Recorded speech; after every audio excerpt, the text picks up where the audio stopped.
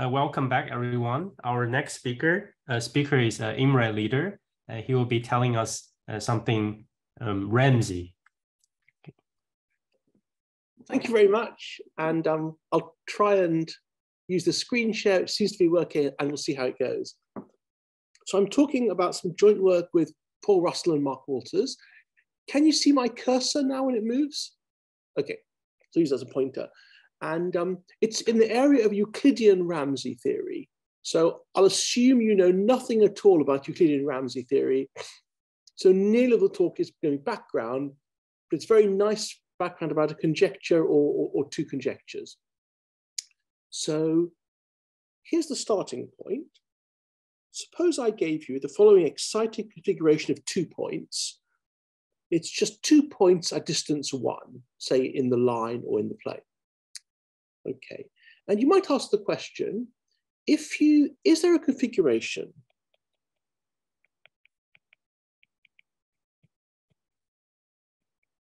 a finite set S in R to the N. It's your choice of dimension, your choice of the set, such that whenever the points of S are K colored, you give them K colors, there exists a monochrome, I write mono, mono means monochromatic, i.e. all of one color. You'll say every time you try mono copy of x. So this is my this is my x. Okay, so my question is, is it true? I give you a number k, so for every k. I tell you I will have k colors. Can you find a finite set somewhere so that whenever you k color it, you can find a copy of x, meaning two points one apart? And the answer is, of course, yes. Just take a, a k simplex. I mean, I mean, k plus one points all distances one from each other, and that obviously works. Okay. Oh, by the way, copy, of course, means a congruent copy. You, you can't expand your set. So this question does not say, can you find two points at some distance apart, which is your choice of the same color? They've got to be distance one. So copy always means a congruent copy. You can't expand it. Okay. Um, Suppose instead I wanted the following x. I wanted, suppose this was my x. So an equilateral triangle, supposing my x is three points all at distance one, same question. Is there a finite set somewhere? Your choice of where it is. So whenever you k color it, there's a monochromatic copy of this. Of course there is. You just take 2k plus one points all distance one. So that's also a yes with a, a 2k simplex. Sorry, I think a k simplex has k plus one points. If you think a k simplex has k points, then of course I'm in 2k plus one simplex. Okay. And this property these sets have is called being Ramsey. So as a definition, we would say that X is Ramsey, X living in some Euclidean space, if for every K, there is a finite S in R to the N. Again, we can choose N, we can choose S, such that S K colored implies there exists a mono copy of. So what we proved so far is that a two-point set is always Ramsey and equilateral triangle is Ramsey. Just by the way, um, X will always be finite. I won't ever say that. Um, if you ever wanted an infinite set, the answer is it's never Ramsey. So any infinite set you can destroy. And also, by the way, you might say, we asked for a finite set in R to the n. It's actually the same as the whole of R to the n. It doesn't actually matter. So you could say, it's equivalent definition, X is, if, if ever K, there's an n, so if you K color the whole of R to the n, there's a monocopy of X. It turns out to be the same thing. Okay, so we have some little examples so far. To generate some more examples, um, there's a nice little fact, which is if x and y are Ramsey, then so is x cross y. And by this I mean that if this one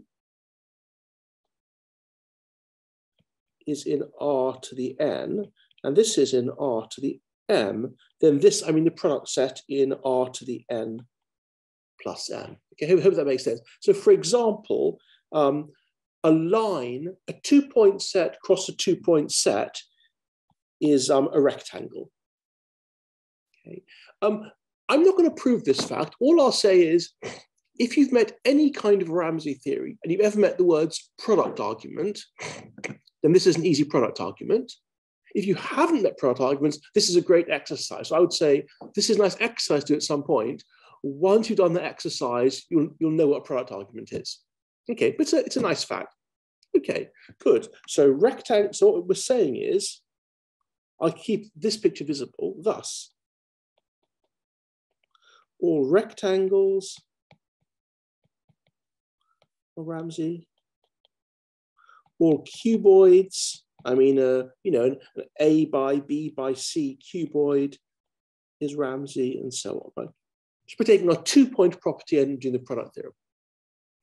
Okay, and there's some nice conclusions from this. Hence, every right angled triangle is Ramsey. That's because, for a trivial reason, go back to my rectangle. If this configuration is Ramsey, then so is this subset of it. And that's any right angle triangle. What I want to stress for later on, though, is that if someone said to you, why is, here's a right angle triangle, why is it Ramsey? You don't start to work with the right angle triangle. You first say, embed this ugly asymmetrical object in a beautiful symmetrical rectangle, and then you get to work. Okay. If you think about cuboids, and you think for a sec, think about a cuboid, which I'll attempt to draw a cuboid, a bad cuboid. If you think about it, you can put any triangle into that as long as the angles are less than 90 degrees. So also, so any acute angle triangle is also Ramsey acute, I mean, all angles most 90 degrees. Because you, you, you, you just find you can embed it into the, you embed it into this thing somehow, whatever. Okay, so that's plenty of examples of Ramsey sets. How about an example of a set that isn't Ramsey? So let me claim that this configuration on a line, take three points, say at distance one, I claim that's not Ramsey. So how do I convince you of that? I've got to find you an actual number of colors K so that the Ramsey property fails. So I've got to give you a K, and I've got to give you a coloring of R to the N for every N in which you don't find a monochromatic copy of this i.e. three points in a line or a distance one. Okay, let, us see how we do that. So if I, what a copy of it means the following, that somewhere you have a point x, an x plus e, and x minus e, where the norm of e is one. I'm writing norm for Euclidean length. Okay, that's what we, that's what we want to destroy. Now, there's a parallelogram rule that relates lengths of these things. It says the length of x plus e squared plus length x minus e squared is length of x squared plus, sorry, 2 plus 2, this 2 being length of e squared. So here's what we're going to do. We're going to promise that our colouring of a general R to the n will be in concentric spheres. It'll just depend on the, the length squared of x. So we, we promise to colour x by some function of the norm of x squared. So if this is the origin, we're coloring out in, in some shells in some way or other. Okay, so it's each sphere around the origin gets a certain color. Now, how would we destroy this? You'd want a coloring of non-negative integers, non-negative reals, sorry, so that this is this is never true. So you, we would need for some k, a k coloring of the non-negative reals such that there is no solution of this, meaning A plus B equals 2C plus 2 with A, B, C monochromatic of the same color, right? If I can find you such a coloring of the reals, I've got my clever coloring of Rn for any n by coloring by this color of the length squared. Actually, this is actually very easy to do. You just you just color, use four color by x mod 4, if you prefer integer part of x mod 4. Um, so if you think about why that works, could you suppose you had A, B, C all the same color where they were all between 0 and 1 mod 4, right? So color 0. Now, if A is between 0 and 1 and B is between 0 and 1, then that's between 0 and 2. But equally, if C is between 0 and 1, then 2C is between 0 and 2, W between 2 and 4, so those don't intersect. Of course, when I said between 2 and 4, I mean 2 at most T less than 4, so I'm not cheating. Okay, so, so that's pretty easy to do. Great. So not, not every set is Ramsey, that's a good start. So which sets are Ramsey? Um, so this area was started by, it's a paper listing basically six incredibly great names in Ramsey theory, but I left out the I left out Erdős, so I should start again. It's by Erdős, Graham, Montgomery. I think it's Rothschild next alphabetically. It is.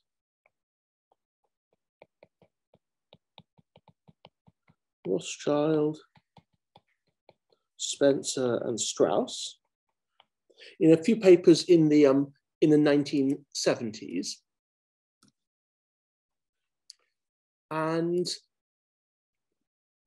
what they did was they introduced the notion of Ramsey. They showed the things I've just shown you about products. And they showed a very nice fact. They showed that if X is not spherical. Spherical means you live on the surface of some sphere. So for example, notice that a rectangle and a cuboid are spherical, but notice that three points in a line not spherical. So this showed implies X is not round. So I'll tell you how they did that, by the way. Um, you remember we had our exciting parallelogram law, three points in line. And notice the key thing for the later construct was this plus two. It wasn't plus zero, it was plus two, i.e. a constant. Now it turns out that for any set that isn't living on a sphere, it turns out that there's a similar parallelogram law you can write out. Some other coefficients ending with a non-zero constant. So there's some equation you want to wreck in the reals, it's, it's rather harder to wreck in general. Here, it was a kind of in your face, easy construction. In general, what you do is you, you find structure over the rationals that works, then you extend by another element, another element. So you have to well order the, uh, you have to well order the basis for the field and so on. So it's a well ordered argument, uh, but it works. It's harder than this, but it can be done, and it's true. Okay, so that's how they showed this isn't Ramsey. And their incredibly famous conjecture which has dominated the area, is that that's the only obstruction. So their famous conjecture is X is Ramsey if and only if X is spherical. So it's absolutely beautiful conjecture. It's dominated the area. Okay, so let, let's see what's progress is made towards this. Um, I'll just say that in general, each bit of progress is incredibly hard. So I'll write down a list of results now, in a slow talk, I'd be stopping and praising each of these results enormously because they're very, very clever results. So well, where would we first start? We want to show every triangle is Ramsey, of course. We've done, we've done right-angled and acute-angled. It turns out every triangle is Ramsey. That's proved by Frankl and Rödl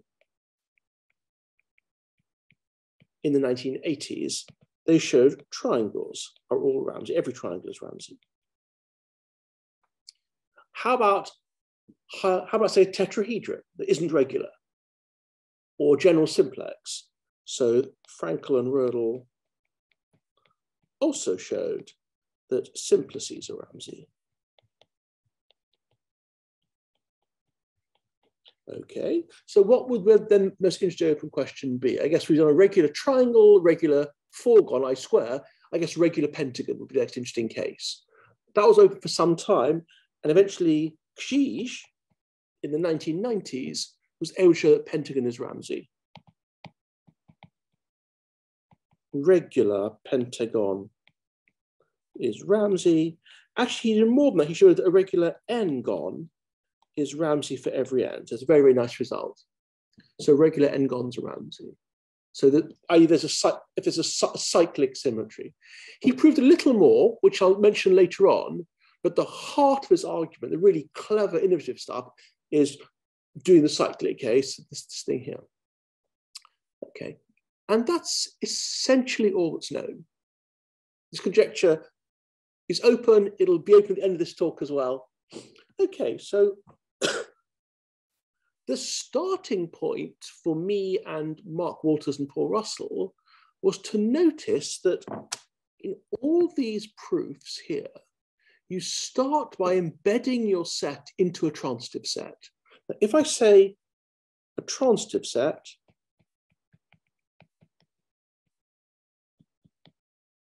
I mean, I mean, all points look the same, right? Either symmetry group acts transitively.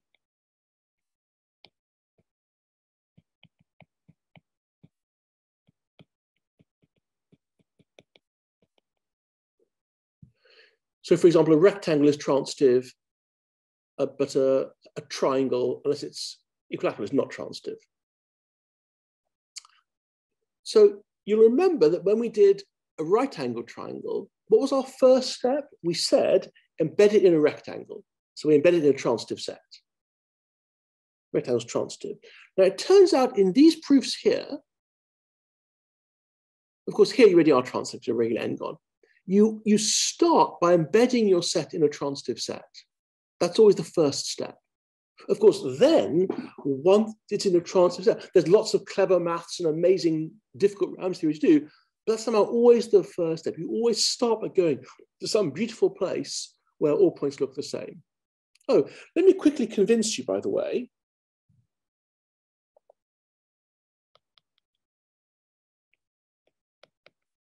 that every triangle lives inside a transitive set.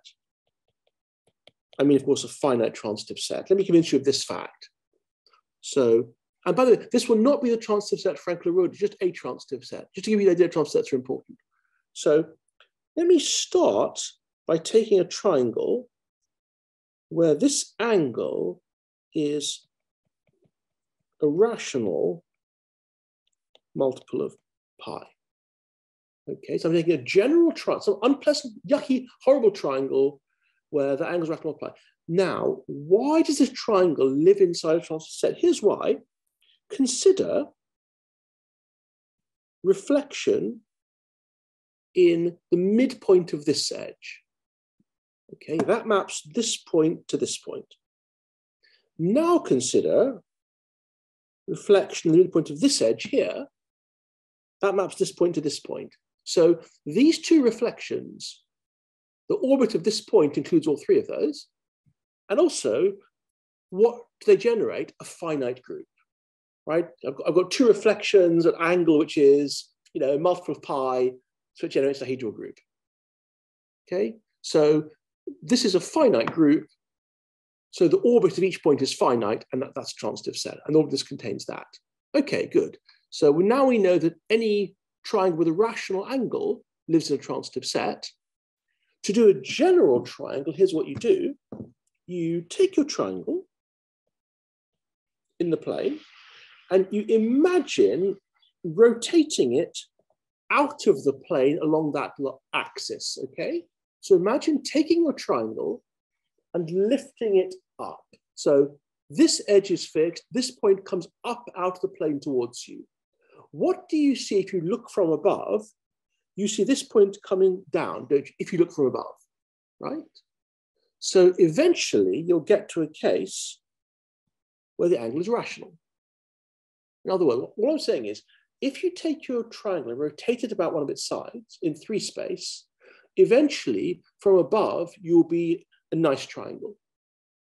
But notice your set, your triangle, now lives inside a rational triangle cross in the z direction 0a for some a, because these have height zero, that's got height a for some a. And this, of course, trivially embeds a transitive set, because embed this in a transitive set, a transitive set, two copies is still obviously transitive. Okay, I stress again, that is not the transitive set that Frankl Rödl will use, but I hope it convinces you that you can embed a triangular transitive set, and same for simplices. So our idea was, since all proofs seem to rest heavily on transitivity, maybe that's the key. So here is our rival conjecture. Our conjecture is that X is Ramsey if and only if it embeds a transitive set. Okay, so I'll, I'll write X is transitive. Of course, what I mean is, or a subset of. So that's somehow our kind of rival conjecture. I'll, I'll we don't know if it's true or false, by the way. I'll, I'll, I'll say a, I'll say a little bit about it. Um, one reason why it's quite appealing is that it would instantly imply that Ramsey sets must be spherical.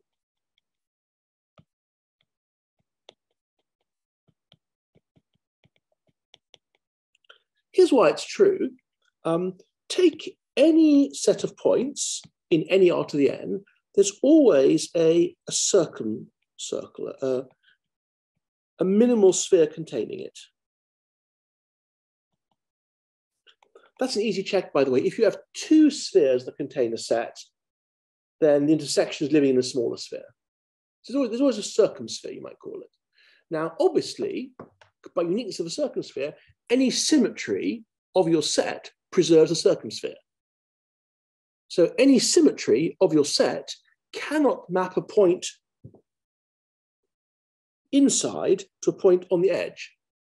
And therefore, all points are on the edge, it's a spherical set. Okay. So it would tell you a lovely reason with no, no Zorn and weird well ordering about where I'm sets are spherical. Okay. So let me now try and convince you of some other interesting things about our conjecture. So let me write as conjecture one, that's conjecture one, Ramsey, so, so I'm sorry, let, let, me, let me delete that. Let me talk about the direction about where we'd like to show transitive sets of Ramsey. The other direction, we only have some heuristics, no actual proofs, so I'll spare you any thoughts on the direction. I'll talk about the, the direction transitive implies Ramsey. And by the way, you have to like this, this direction because even if you believe the original conjecture, you still have to prove that all transitive sets are Ramsey because they're all spherical. So you can't escape having to prove the following conjecture. X transitive implies X Ramsey. So we've got to prove this. Um, just by the way, um, whenever you do prove that a set, a transitive set's Ramsey, in all known examples, what you actually prove is that if X is transitive, then for any K, the set X cross cross X is K Ramsey for X. What I mean is that the big thing you color is a product lots of copies of X. It could be scaled. I mean, think, for example, at a unit interval, zero, one, right? When I said take a, a K simplex, we're done, you could have taken the points 1, 0, 0, 0, 0, 1, 0, 0, 0, 0, 1, 0, 0, and so on. Those all live in my set x to the power of 5. And they're, okay, they're pairwise distance root 2, not pairwise distance 1. So you scale it, you get pairwise distance 1. So all I'm saying is, in every known case where you want to prove that there's a wonderful set that when you k color it as one of x, the set is always a big product of copies of x, maybe scaled. I think nobody I know, nobody believes that this could be true without that being true. But officially it's different. It's a strong, so I'll call that conjecture one prime. Okay, so that's conjecture one prime. So it turns out you can do a very interesting thing. Conjecture one prime is about transitive sets. So that means a set, Euclidean set, with a group that acts transitive symmetries. It turns out you can remove the geometry, which, okay, you might think is a bad thing, but it's probably a good thing to make things simpler. So it turns out there is a, a conjecture two, which is a groups statement. I won't, I won't say what it is. It's, it's a similar thing. It's about given a finite group for every k, in g to the n something nice happens. I won't say what it is, which implies conjecture one prime. So it's quite nice. I'm saying is you can you can take the you can take the geometry out of it just have a group statement. And then you can take the groups out as well. You can get down to a purely combinatorial statement. So let me tell you conjecture three. It's a totally combinatorial statement.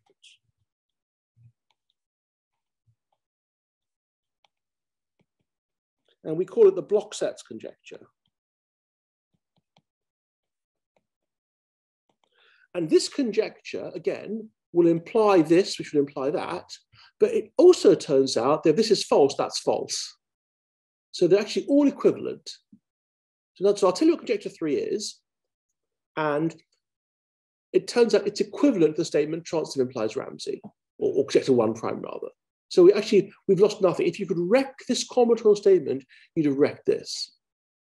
So let me tell you what the block sets conjecture is. I've got to tell you what a block set is. So we're living in uh, let's say the set one up to m to some large power. So long strings of, of numbers. Okay. And I'll tell you what a block set in one, two, three to the n with template one, two, three years. Here's what it means. You write down a word, and it's a bit like Hales Jewett, but it's not Hales Jewett. Um, you write down a word, I want three varying places, okay? So I'll write down a word in one, two, three, one, two, one on three, A, A, three, one, A, B, C, B, one, one, one. Let's have three of each. B, C, C. So I've written down a word here, and I've got three A's, three B's, and three C's. And the, the rules are you're allowed to substitute for each of A, B, and C, one, two, three, in any order you like.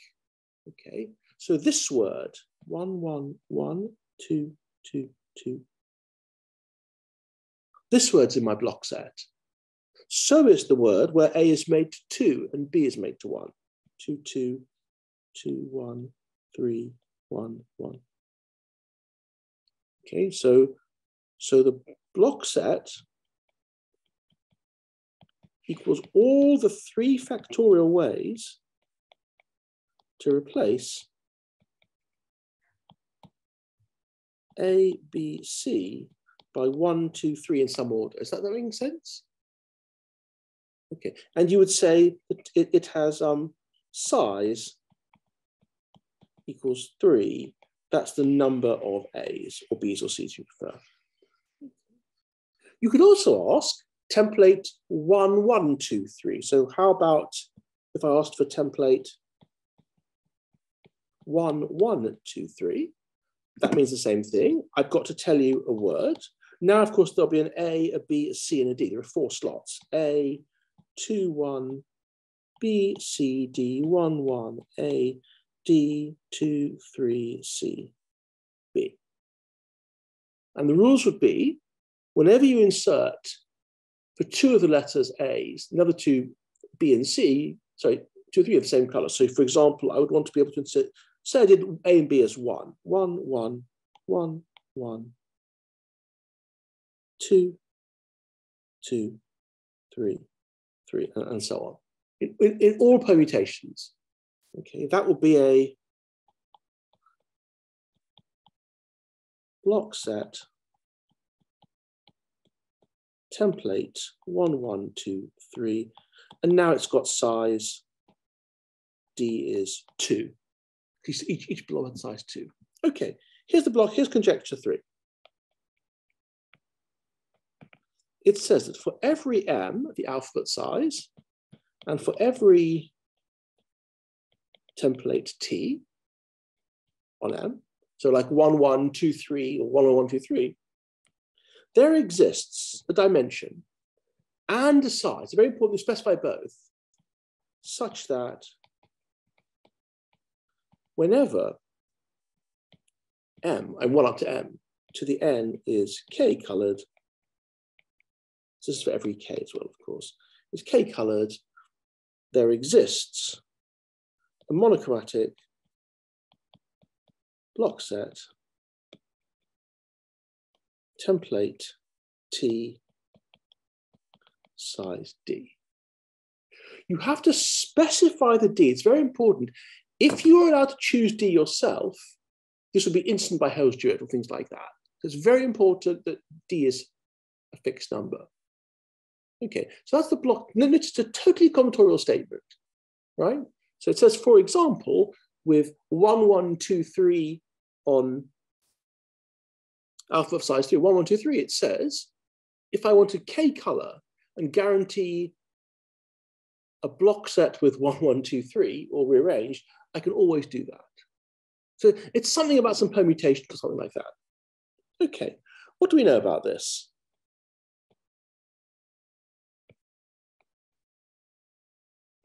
We know, well, okay, M is one is kind of trivial because this is the one point world and it's stupid. How about, how about a world of size two? How about a template, say, of some ones and some twos? That's fine. That's just, it turns out that's just Ramsey's theorem. So if you think about the, the template um, of some ones and some twos, then it's true for that. Okay, so it is true that if you want to color words in ones, long words in ones and twos, you can always find your favorite template in there. Okay, so on to three letters now. One, two, three, we know. A lot of ones, a lot of twos, and three. So when I wrote this, was I, mean any word in ones and twos, right? Three.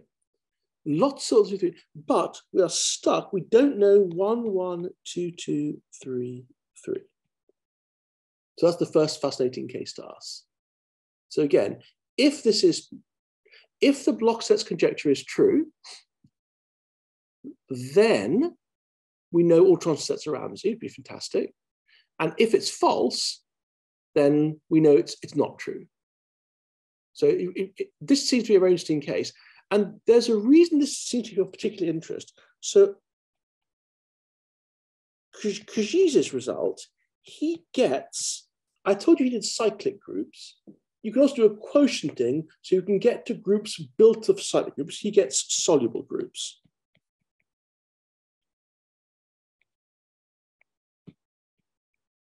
Soluble means built out of cyclic groups, but he, he can't get beyond soluble. Now, conjecture two, the one about groups, which I didn't tell you, I didn't tell you that, but anyway, believe it exists. So Karamanlis, Karaman and Kanellopoulos proved it for G soluble. But again, they also can't get beyond soluble. And it feels like in all these three, the obstacle seems very similar. It's hard to put your finger exactly on. For example, this one's group symmetry group itself is soluble. So it's not that its own group, but somehow the, the things that stop Kříž extending beyond soluble and the things that stop and Candelabras going wall, and things like us doing this seem to be the same kind of obstacle. Right? Maybe it's indication that they're false. We just we just don't don't know. Um, in my last minute, so this is the where stuck at the moment. I'll just mention that I've told you the original conjecture, which was that um, Ramsey equals spherical. I've told you our conjecture, which is Ramsey If given only if contained intransitive. Um, it was only after working for more than a month that it even crossed our minds why these different conjectures? I mean, obviously they've got different words in them, right? But are they different conjectures? Does every finite transitive set embed in a sphere? That's yes. Does every spherical set embed in a transitive set? And you want to say no, they're different definitions, but this is actually really hard to, to separate them. And it took us quite a long time to separate. Eventually, we were, we were able to show that almost every cyclic 16 gone.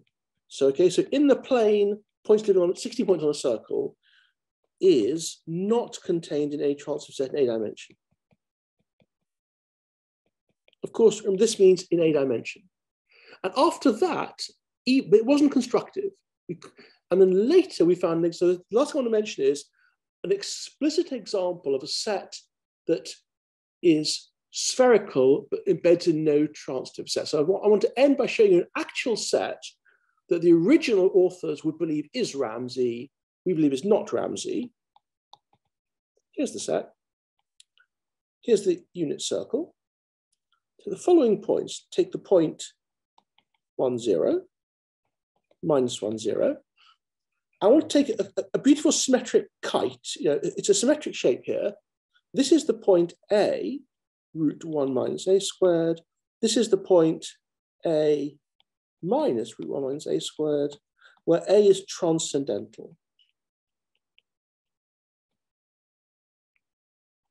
So it's not obvious, but it turns out this beautiful symmetric I reflection, this foregone is spherical because I've drawn it on a circle, but it doesn't embed in any translating dimension. And so this will be a fascinating test case separating these two conjectures. We'd love to know if this is Ramsey or not. We've tried so hard to prove or disprove, but we're stuck. So I'll stop there with that example. Okay, let's first thank uh, for a nice talk.